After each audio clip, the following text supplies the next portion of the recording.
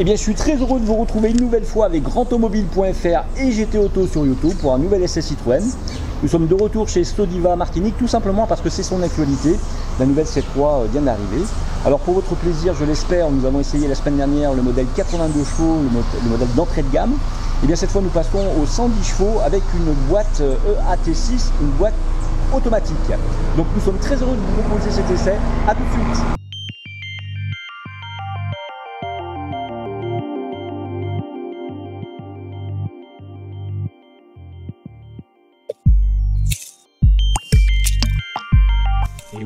Dans le regard ou presque avec cette nouvelle C3 et la forme de ses optiques qui évolue et abrite désormais un éclairage à LED sur toutes les versions, tandis que la nouvelle calandre confère à la C3 un regard un brin plus agressif.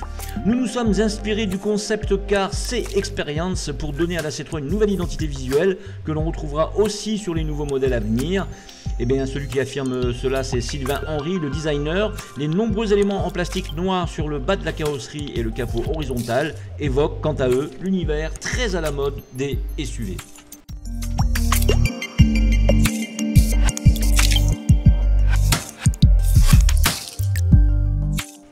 Si l'on s'approche du museau, les détails sont évidents. Si la C3 conserve cette calandre à deux étages et son double jonc chromé, vous vous rendez compte que maintenant le second chevron est légèrement plus écarté que sur l'ancien modèle et que ce second jonc de la partie basse donc descend pour venir envelopper un nouveau bloc optique désormais à LED.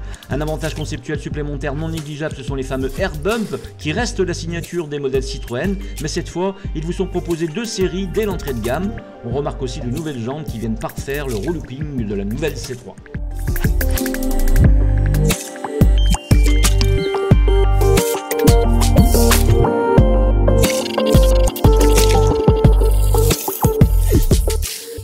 Citroën joue sur ce qui fait la réputation de ses modèles et donc aussi sur de nouvelles possibilités de personnalisation. 97 combinaisons désormais au lieu de 85 deux nouveaux coloris, Spring Blue et Rouge Elixir, et deux jeux de inédits comme je vous le disais. Ensuite, cette nouvelle C3 accueille plusieurs décors intérieurs, dont un plaquage ton bois clair sur la planche de bord, mais c'est surtout le système Advanced Comfort qui fait la différence, issu des C4 Cactus et C5 Aircross, comprenant des sièges plus moelleux qui passent de 5 à 15 mm d'épaisseur, mais aussi un maintien latéral renforcé. Il peut se compléter par un accoudoir central qui est en option. Une inédite aide au stationnement avant complète le tout.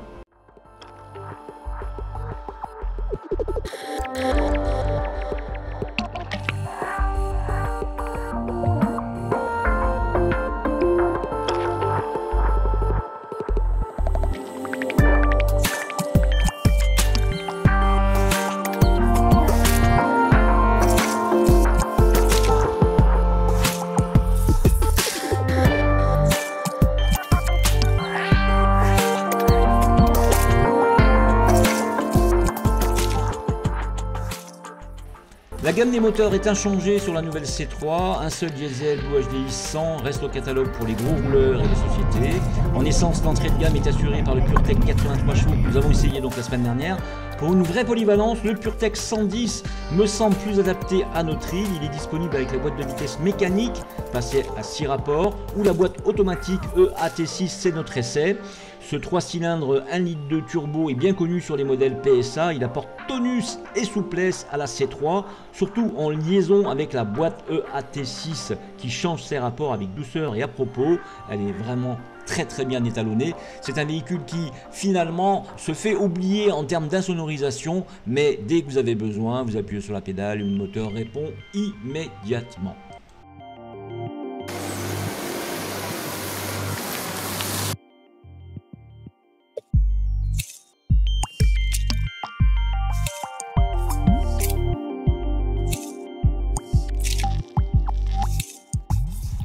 Et la douceur reste d'ailleurs le maître mot à bord de la C3 qui n'apporte aucune modification à ses trains roulants. Elle laisse donc toujours le soin au Ford Fiesta ou autre Peugeot de tailler des trajectoires tendues et préfère jouer la carte du confort. À bord de la Citroën, la conduite est coulée, décontractée et on s'y installe comme dans un fauteuil avec l'accoudoir pour le conducteur et les nouveaux sièges Advanced Comfort qui offrent un moelleux supplémentaire grâce à une mousse plus épaisse. Nous l'avons vu, c'est un vrai fauteuil.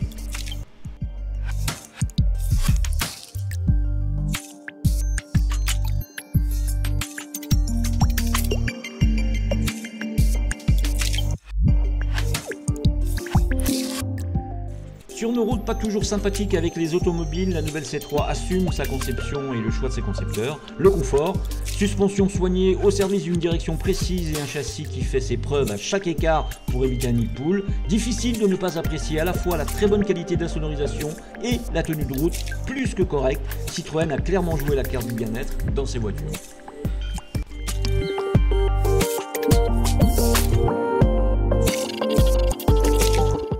Rendez-vous sur un prochain essai avec grandautomobile.fr. N'oubliez pas de vous abonner sur YouTube, sur GT Auto.